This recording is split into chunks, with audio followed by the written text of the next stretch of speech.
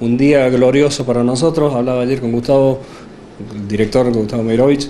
este, que esto te da muchas fuerzas para seguir adelante porque de golpe estamos teniendo mucho apoyo, se van cumpliendo las promesas.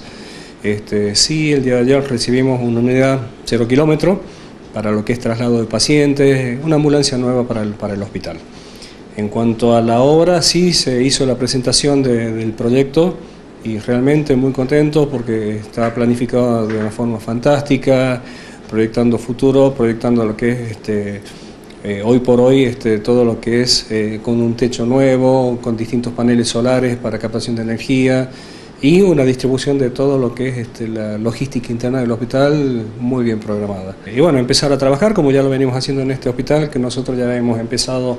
parte con la capacitación científica muy caseramente, con las revistas de sala, proyectando, planificando, porque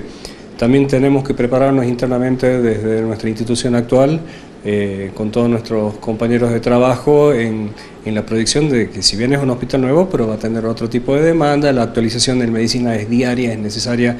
día a día, minuto a minuto. Eh, así que nosotros muy caseramente ya hemos empezado con algunas charlas, con las revistas y bueno, mentalmente tenemos que empezar a prepararnos como para estar acorde a la institución nueva. También se notan muchos avances en lo que respecta quizá a la etapa final de lo que es el shock room. Sí, sí, la verdad que vamos bastante bien avanzados, estamos ya en una etapa casi final, eh, restan cosas, bueno, mobiliario, las últimas cosas y bueno, por supuesto terminar parte de la obra, pero a un poco tiempo de, la futura inauguración. Este, que bien como se dijo ayer, la idea, y quizás ahí responda un poco tu pregunta, este, no dejamos de estar a la altura de lo que la, la población necesita, eh, lo que se viene es un cambio institucional eh, en lo que es edilicio, pero hoy por hoy seguimos trabajando y no dejamos caer esta parte edilicia porque sin duda acá va a seguir funcionando de alguna forma. Hay muchos programas, muchos proyectos a presentar o, que se están valorando que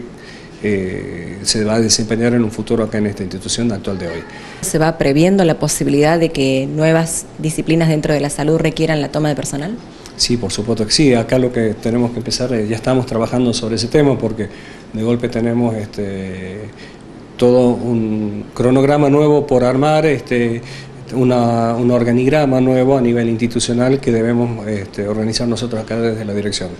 con distintos servicios, este, se van a sumar servicios que en este momento no tenemos, se habla de un tomógrafo de alta complejidad, entonces este, cosas que hoy no tenemos que sí tenemos que proyectar por supuesto toda esa parte.